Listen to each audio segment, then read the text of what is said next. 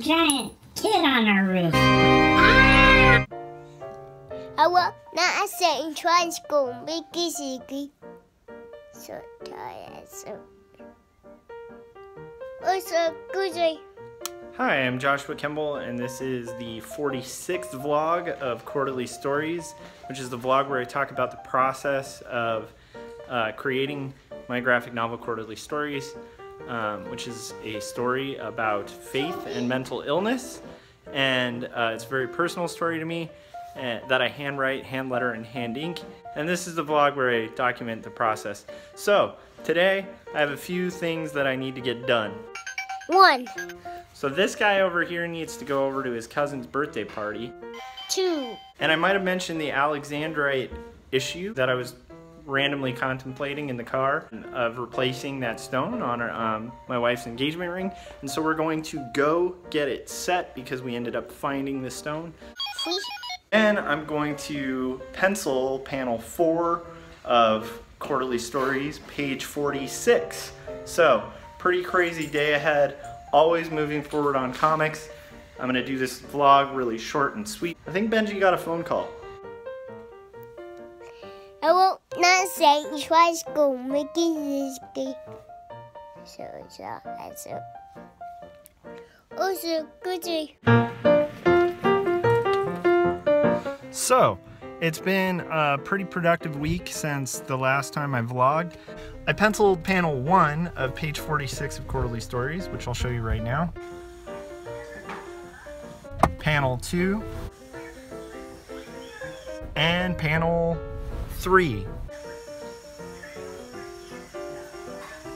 One, two, three. So, um, as you can see, pretty productive so far, and what I'm planning on doing tonight is penciling panel four. So, um, that'll do it. It's a really weird day in California today because it kind of feels like Portland. Here, I'll show you.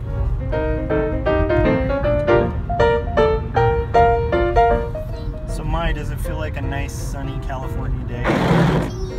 Soaking in the sun here.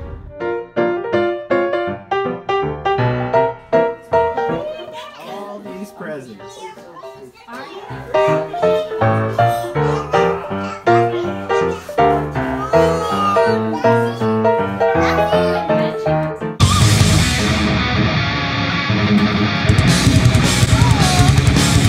Peppa Pig cats.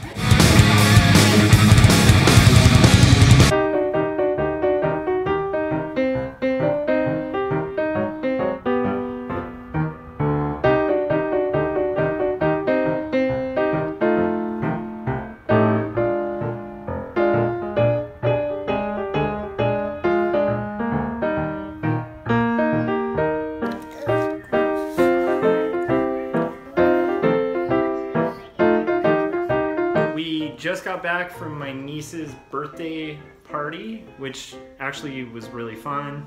Benji had a blast, and then we went and got the stone set on the ring, and we're supposed to be picking it up around 6, so we'll see how it looks. Maybe I'll get a little video of it.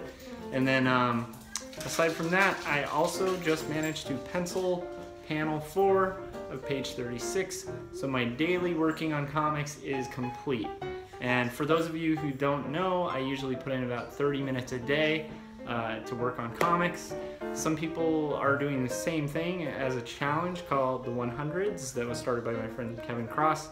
And I highly encourage anybody who wants to work on anything uh, to improve their lives or whatever to just set aside 10 15 30 minutes. What you'll find if you put in that 30 minutes a day is that um, these big daunting projects tend to actually get accomplished. So what's pretty cool is by putting in 30 minutes a day i have gotten to the point where i'm penciling page 46 of my graphic novel whereas before i started this 30 minute a day work habit i was on page zero. You know if that shows you the power of this kind of just work habit, which I think most people build into their schedule if they want to get this stuff done, especially on top of freelance work or full-time work. Um, I just highly encourage it. So I'm feeling pumped, got a lot accomplished today, and I am done with my comics work for the day.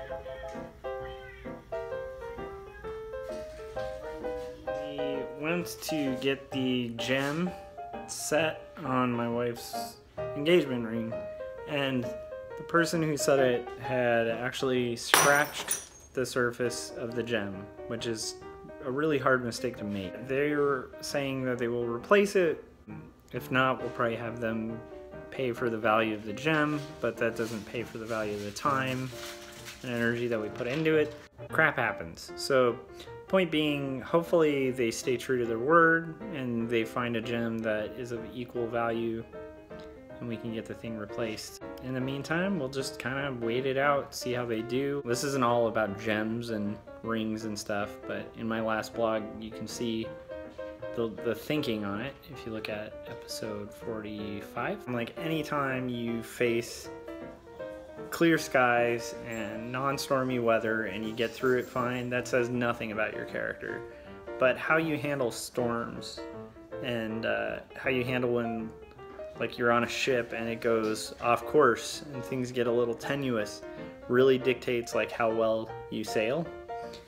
And um, if, and says a lot about your character as a uh, to keep with the ship analogy as a person on the ship.